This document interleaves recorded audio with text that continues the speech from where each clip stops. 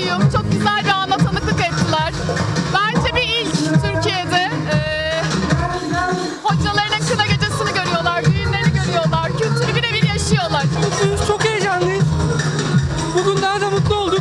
Yabancı öğrenciler de bizim kültürümüzü öğreniyor, görüyor ve mutlu oluyoruz.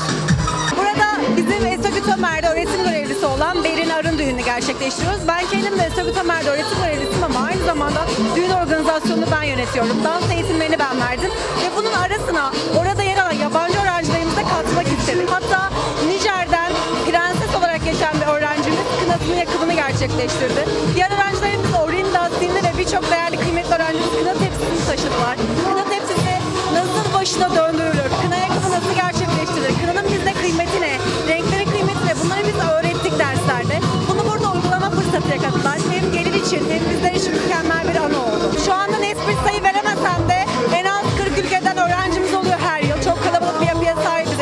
olarak. Hem Afrika tarafından hem Kazakistan'dan, Türkmenistan'dan, diğer ülkelerden birçok öğrencimiz bizimle birlikte. Ve hepsi bir arada kültürleşmeyle bir Türk kültürünü öğrenmeye çalışıyorlar. Hem onlar bize kültür katıyor hem biz onlara yansıtıyoruz.